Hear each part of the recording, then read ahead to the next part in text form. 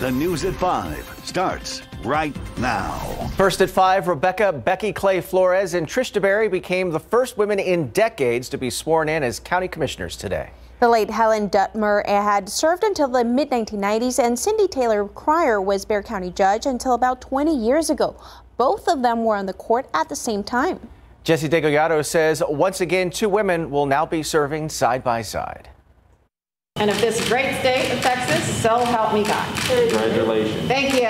And with that, Princeton and Harvard educated Rebecca Becky Clay Flores will represent Precinct 1 as the first woman of color to serve as Bexar County Commissioner. My hope is that the work that I am about to embark upon ensures that I may be the first, but not the last. So help me God.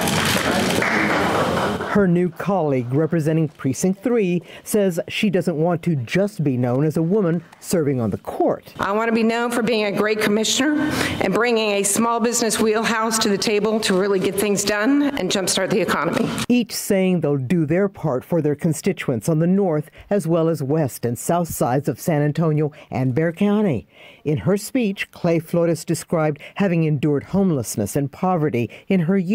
It is these experiences that continue to fuel me to fight for a better life for the constituents of Bexar County. Having founded a marketing agency more than 20 years ago, one of DeBerry's campaign promises was to help small business owners decimated by the pandemic. At the end of the day, I think that's the most important thing that we can do as we recover from a global pandemic. Both thanked their supporters for believing that they could make a difference on the commissioner's court. It's an incredibly gratifying day for me. We worked really hard for this. I am still that little inner city girl who understands understands what it takes to endure hardship, yet keep on fighting for a better tomorrow. Jesse Degollado, KSAT 12 News.